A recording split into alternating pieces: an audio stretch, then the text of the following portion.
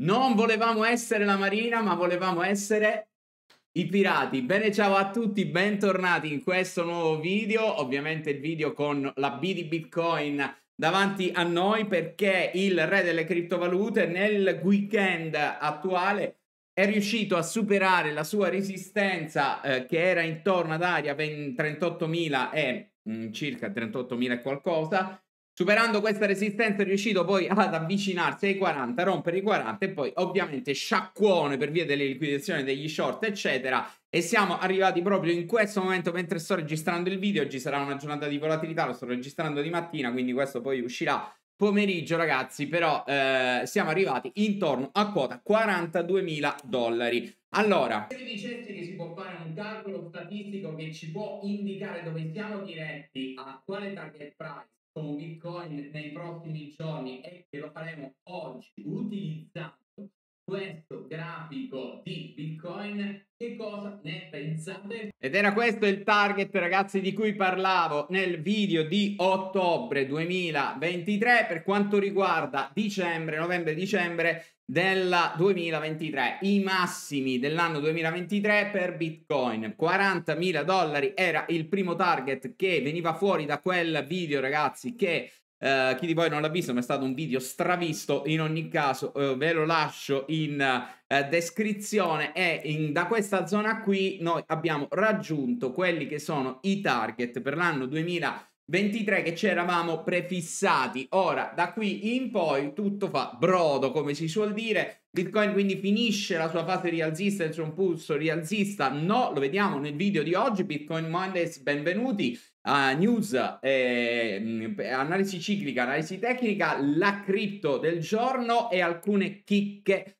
che bisogna vedere perché questa struttura, questo impulso di Bitcoin deriva sostanzialmente da una tempesta perfetta che si sta andando a creare, ma tempesta perfetta ragazzi di cui abbiamo parlato per tutto il trimestre eh, da settembre a eh, dicembre, cioè questi mesi qui, da settembre che sto martellandovi la testa relativamente al fatto che mh, questa fase era un po' eh, già direzionata perché l'analisi ciclica aveva dato dei dettagli e dei segnali assolutamente eh, importantissimi. Partiamo però come sempre all'inizio del nostro Bitcoin Mondays da quelle che sono le analisi delle news eh, macroeconomiche attese per questa settimana. Non ci sono eh, in sostanza delle news rilevanti, ma eh, tutto il mercato si è focalizzato per lo più sulla questione legata al tasso di interesse, che comunque anche quella avevamo sviscerato in maniera importante nei mesi scorsi parlando del fatto che i tassi di interesse avrebbero raggiunto l'apice tra dicembre e gennaio 2024 in realtà è stato raggiunto prima quindi il mercato ha un po'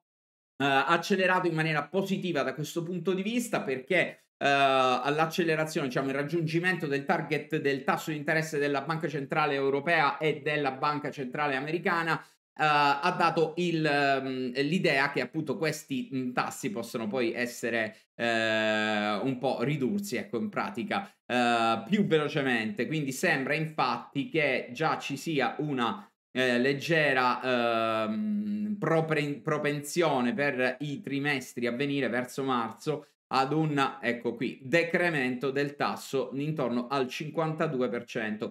Uh, io non la vedo così, secondo me marzo non è una data buona per un decremento del tasso, però uh, si- sicuramente anche se non è marzo sarà il successivo, uh, quindi magari maggio, però in pratica ragazzi non cambia la logica di fondo perché un quarto di punto che viene tagliato dei tassi di interesse non è un grande cambiamento. Quello che è il grande cambiamento è l'atteggiamento della banca centrale che è riuscita sia l'europea che l'americana a controllare il tasso di inflazione e quindi riportarlo vicino al suo target equilibrio il 2%, perciò in pratica l'anno 2024 è un anno di tirata di respiro, di, di sollievo, cioè un respiro di sollievo, perché altrimenti eh, le cose diventavano veramente un po' terribili. Poi la narrativa per l'anno 2024, soprattutto da marzo in poi, sarà la questione recessiva o meno, impatto o meno, non impatta su Bitcoin, eccetera. Questo poi si vedrà. Dal punto di vista dati economici, quelli importanti per questa settimana, richieste di sussidi di disoccupazione,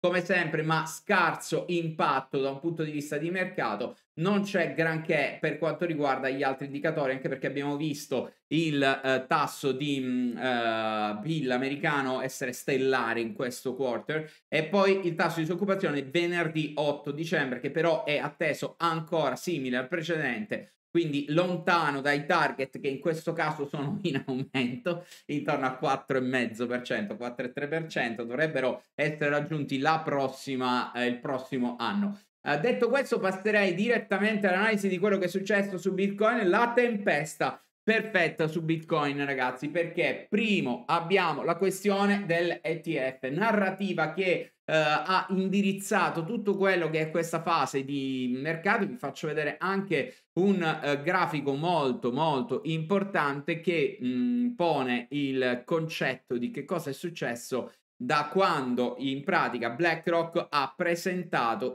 suo, uh, la sua domanda per l'ETF. Allora, qui la linea zero di demarcazione che vedete è il timing in cui BlackRock a giugno del 2023 presenta la domanda per il suo ETF e quello che è successo è quello che state uh, vedendo in questo momento. Quindi una fase di ritracciamento eh, della candela che era stata un'impennata in sostanza dovuta alla presentazione dell'ETF. Eh, tutto questo sono candele di natura weekly, quindi una candela sola è stata riassorbita in un lasso temporale importante perché eh, siamo stati in pratica da giugno a uh, settembre, quindi 84 giorni, un trimestrale ehm, interamente a tentare di assorbire il pump che era avvenuto con la presentazione del, eh, della domanda LTF di Bitcoin. Pensate un po', ragazzi, quindi una settimana riassorbita in tre mesi. Dopodiché, da qui è iniziata la ehm, teoricamente seconda parte del ciclo annuale di Bitcoin o una parte ternaria di un ciclo biannuale diviso a tre tempi di Bitcoin che in ogni caso eh, ha tirato su quelli che sono i massimi. Ora, la struttura eh, dell'estensione dalla presentazione della domanda di BlackRock per quanto riguarda più o meno, ecco non so lì a farvi il conto proprio preciso, ma sono più 70% circa, più 66%. Eh, Tra le altre cose, Bitcoin in questa fase è uno degli asset più performanti, se non il migliore, poi faremo a dicembre il controllo, 172% la performance dai minimi del ciclo uh, annuale di novembre e dalla mh, mm, zona di gennaio un pochino di meno, quindi da inizio 2000... Uh, 23 dovrebbe essere circa un 155%, anche lì non sono i numeri in dettaglio, ma giusto per darvi un'idea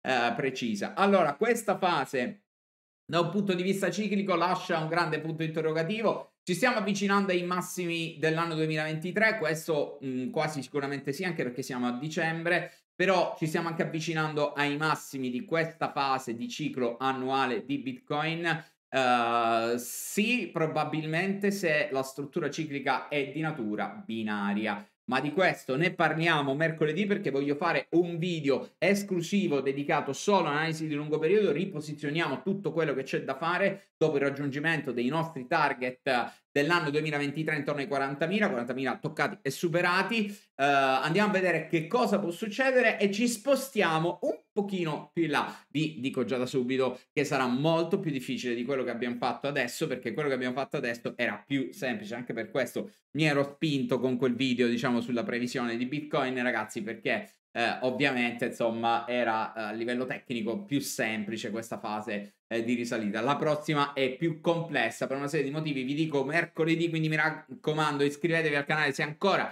non l'avete fatto, uh, anzi, mm, intanto io vi ringrazio ragazzi anche per eh, diciamo tutto l'affetto che mi dimostrate, anche perché il canale sta andando molto bene anche in questi mesi, quindi grazie di cuore anche per questo fly to the quality, direi, no? Eh, sulle cose che hanno valore, hanno importanza ed è molto mm, eh, bello anche per me, insomma, eh, perché vi parlo di cose complesse, no? ogni giorno stare a vedere che comunque i numeri aumentano, ci sono tante views e sono molto contento di questo perché le cose complesse non sono facili no? da assorbire per moltissimi. Allora, eh, questa fase, mm, dov'è il grafico? Me lo sono perso che volevo farvi vedere, eccolo qui.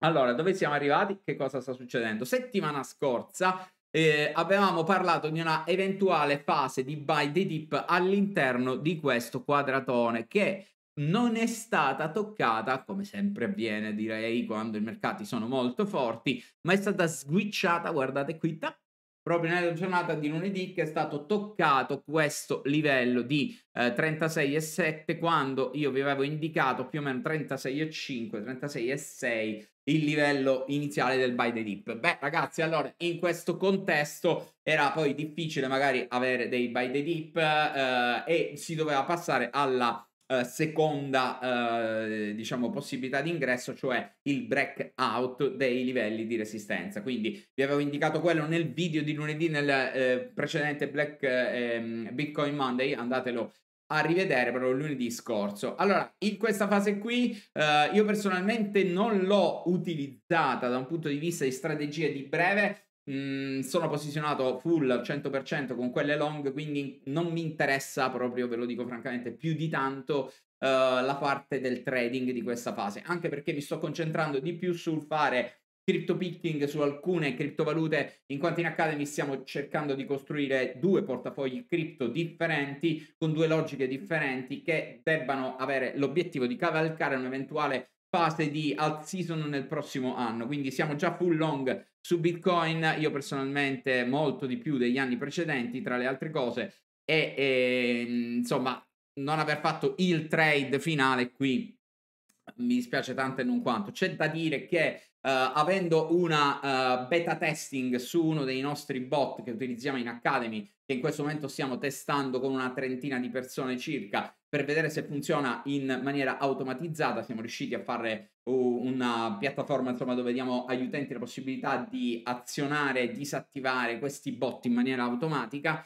Uh, io seguendo quel bot, quel bot lì è long, invece ha fatto tutto il trade, però quello è un esperimento, quindi non è corretto ragionare in termini di uh, posizione strutturata, perché quella è un uh, esperimento che sto facendo perché do la possibilità di usare il mio conto per e vedere se a livello informatico funziona bene. Siamo stati fortunati da questo punto di vista, quindi semplicemente eh, cavalcare un trend eh, di questo tipo è mh, mm, insomma la fortuna in questo caso. Però è long da questa zona, mi pare intorno ai 37 qualcosa. Poi ha fatto due uscite e rientrate perché è un bot di brevissimo termine, 15 minuti, ragiona ragazzi. Quindi ovviamente insomma è trading puro. Uh, però questa fase a livello proprio di strategia settimanale non l'ho cavalcata perché non sono riuscito a entrare per diversi motivi, anche perché non mi ha toccato questa fase di, di, di, di dip di cui vi parlavo in maniera cospicua. No? Io voglio sempre vedere dei livelli di ingresso prudenziali. Allora, cosa è successo? Con grandissima probabilità il ciclo trimestrale di Bitcoin si è concluso sul eh, minimo del eh, 22 di novembre 2023 quindi qui siamo probabilmente in una nuova fase ciclica, in un nuovo trimestrale di Bitcoin. 72 giorni è andato a fare esattamente quello di cui vi avevo parlato, eh, cioè l'idea che facesse un due mensili, un mensile corto e un mensile lungo che chiudesse anche il trimestrale.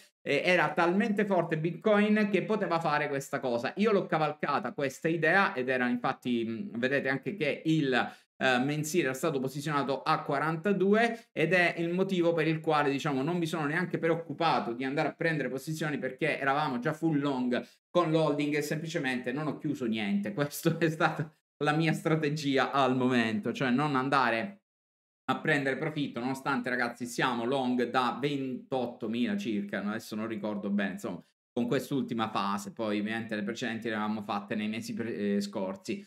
Uh, non ho preso profitto perché credevo in questa views, cioè dei due mensili, uno corto e uno lungo, e che andassero a chiudere un trimestrale un po' più corto rispetto al solito, proprio perché avevamo necessità di avere un hype di Bitcoin perché per la prima decade, metà di dicembre, dovevamo andare a fare un massimo di Bitcoin, che era quello sempre presente all'interno di quella previsione. Tutto affilato liscio, non è sempre così, magari sempre così, però in questo caso, ragazzi, siamo riusciti a cavalcare. Poi con la strategia, la uh, gestione delle posizioni, ovviamente, ragazzi, si riesce a fare tanto, tanto, tanto, ok? Questo è un anno sicuramente top per eh, tutta la nostra operatività, però in linea di massima eh, si impara sempre, eh, questo c'è da dire, non è un caso insomma, che questo è un anno top perché è anche dovuto al fatto che tante cose sono migliorate, lavoriamo in squadra, insomma ci sono tante cose che eh, poi fanno migliorare l'operatività. Io sono oltre 20 anni, vi assicuro, si impara sempre, costantemente. Allora, in questa fase qui a livello ciclico probabilmente siamo in una struttura ciclica trimestrale e quindi qui stiamo andando a delineare un nuovo ciclo mensile che io a questo punto mi posiziono intorno ai 30 giorni classici, qui saremo a, vicini alla metà. Ora il mercato qui potrebbe fare semplicemente una mh, ulteriore fase di pump e poi andare a chiudere il bisettimanale intorno più o meno alla fine di questa settimana per prendere un po' di fiato a quel punto non è detto che noi non andiamo addirittura se fa una cosa del genere, sempre se questo mensile è un binario, cioè diviso a due, perché se non è diviso a due ma è ternario, continuerà a salire facendo un massimo al centro e poi Uh, andrà a ritornare. Poi vi ripeto, non c'è una grande operatività da fare perché se siete hold Uh, e siete già long dovete stare semplicemente fermi. Quindi uh, insomma anche per questo non è a livello di trading adesso poi vi, magari vediamo delle operazioni più veloci però qui c'è stata una struttura a 5 giorni di una, uh, un ciclo di natura settimanale piccolo oppure 8 giorni se lo considerate così. Non ci sono vincoli quindi vanno bene entrambi. Oppure se vogliamo considerare Uh, due cicli settimanali, uno corto e uno lungo, dobbiamo arrivare intorno al 15 probabilmente dove andremo a chiudere questo settimanale. Cosa significa? Che un po' è possibile che questa candelona gigantesca della giornata di oggi venga ritracciata nel breve periodo per un pezzettino, eh, breve periodo intendo un paio di giorni. Questo ritracciamento potrebbe essere un utile punto di ingresso eh, di trading, ovviamente non di position di, di, altro tipo. Ho sbagliato la struttura, ok, vediamo un po'. No, era giusto.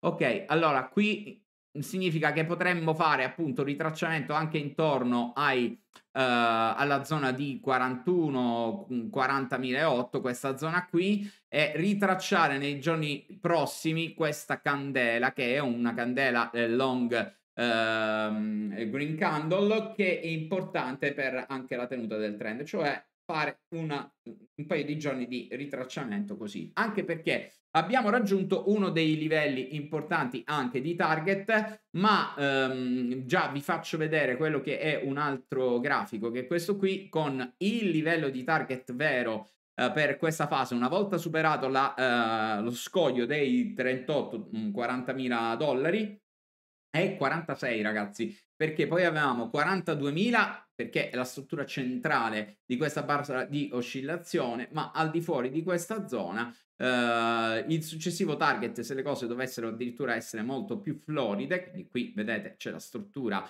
di congestione, e poi 46 mila dollari, che a quel punto rappresenta uno scoglio importantissimo e che bisogna andare a vedere insomma se il mercato riuscirà addirittura a superarlo. Rompere addirittura questo livello eh, significherebbe entrare in una bull run molto mh, importante ci sarebbe una forte riflessività e l'avvicinarsi dei 60.000 sarebbe dietro l'angolo ve lo dico. Uh, non mi piacerebbe vedere una cosa del genere in maniera forte, però sicuramente se dovesse arrivare una notizia nell'immediato, vi ricordo che fra un mesetto ci sono le prime news sul ETF, anche se secondo me potremmo essere stupiti da quello, ma non cambierebbe comunque la narrativa perché eh, ci sono diversi incontri di eh, BlackRock con la SEC per decidere delle modifiche che sono state già fatte, quindi in pratica eh, si sta tentando di eh, creare le basi per avere l'approvazione dell'ETF, non è il faccio la guerra. Quindi secondo me questa cosa è un po' mh, mm, già nell'aria. Allora dovesse effettivamente avvenire nei prossimi giorni, qui secondo me eh, facciamo il, uh, un pump sicuro. Attenzione quindi a quest'area, qui siamo nella terra di nessuno, una volta raggiunto questo target il mercato potrebbe eh, un pochettino ehm, eh, diciamo eh, chiudere queste strutture cicliche. Da qui in poi, da questa eh, giovedì, insomma venerdì, questa zona qui, se dovesse farlo, ragazzi, attenzione perché nulla vieta appunto di continuare a fare poi il break di questa zona, arrivare qui, quindi intorno a 46, prima di chiudere il ciclo mensile che dovrebbe essere verso Natale. del 2023. Uh, eh, è probabile che questo ciclo mensile faccia anche il massimo del ciclo annuale di Bitcoin, lo vediamo mercoledì, che facciamo il video special immancabile, ragazzi, non so ancora se faccio una live, in diretta per stare tutti insieme proprio su questa cosa. Poi eh, ragiono perché dipende anche dai impegni, a volte è difficile fare le live. Andiamo a vedere la criptovaluta invece della settimana che è Eagle perché ve l'avevo promessa anche precedentemente. È una cripto che io sto utilizzando anche nei miei portafogli non è la cripto principale in questo momento perché il portafoglio Crypto 24, l'ho chiamato così,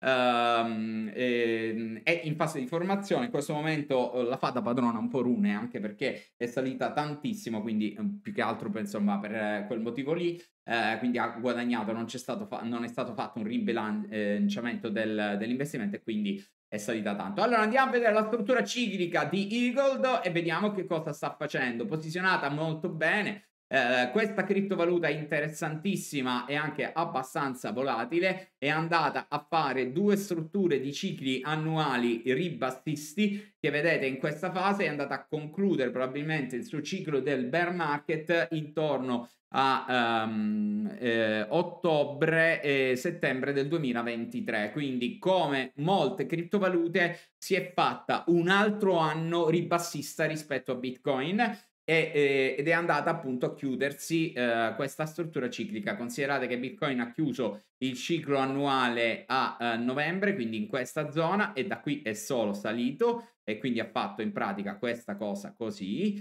mentre altre cripto non è solo Eagle, sono scese. Questo eh, segno anche di come il mercato eh, cripto ancora non è maturo per iniziare una fase di alt season, però si vedono gli eh, atteggiamenti, diciamo, importanti iniziali, soprattutto perché questa fase ciclica annuale di Eagle è importante perché ha avuto un grande sviluppo proprio nel suo primo ciclo trimestrale ciclo trimestrale che dai minimi in pratica ha fatto il più 130%. Ora, non è che siamo stellari rispetto ad altre criptovalute che abbiamo visto Rune appunto fare numeri stellari, no? 600 e passa per cento, eccetera. Uh, però sicuramente è interessante. Me l'avete richiesta tra le altre cose nel mio commento Twitter. A proposito, lo rifarò anche questa settimana. Vi lascio il link di Twitter in o X, insomma, del nuovo social X di, di Elon Musk in descrizione. Così, ragazzi, potete seguire anche quello che combiniamo là, qualche sondaggio, eccetera, le news e ogni tanto tiro fuori qualche analisi dal cilindro. Vi lascio il link uh, per quanto riguarda uh, anche ehm, la, il mio canale X.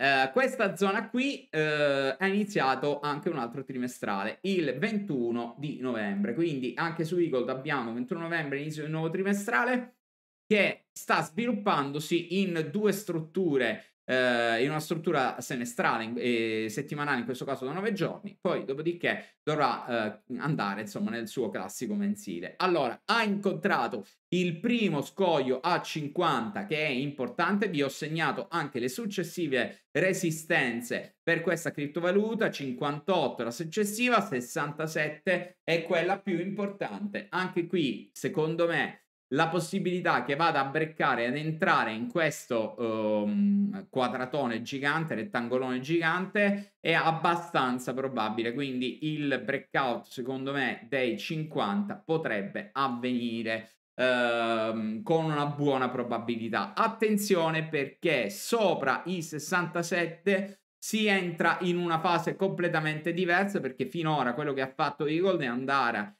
a uh, ritracciare il massimo del semestrale qui eh, di questo ciclo annuale precedente ribassista, lo ha toccato, ma qui è il massimo del precedente annuale, quindi andare a breccare questo massimo qui indicherebbe anche ribaltare tutta questa struttura ciclica ribassista e quindi dare, avere slancio per fare una nuova fase di cui poi bisognerà andare a parlare. Ovviamente io qui ho esagerato insomma, con le linee, Uh, però questi sono i livelli di target e ci sono anche i livelli di supporto che sono in questo momento il più vicino e molto lontano, insomma sono E40 39. C'è anche un altro livello di supporto che è questo mezzano del ciclo Tresi che è stato chiuso uh, qualche giorno fa, che è questo qui. È un ciclo meno importante, però è 42. Però è un livello che non dovrebbe essere toccato eh, all'interno di questo mensile, quindi se già 42 scricchiola c'è qualcosa che non va in questa view e andrebbe poi rivista. Quindi al momento Cripto della settimana Eagle, questa la struttura, cosa ne pensate voi invece della grande, grande oscurata di questa fase, perché parliamoci chiaro, è oscurata mh, nella, da due, diciamo, movimenti differenti. Uno, la stratosferica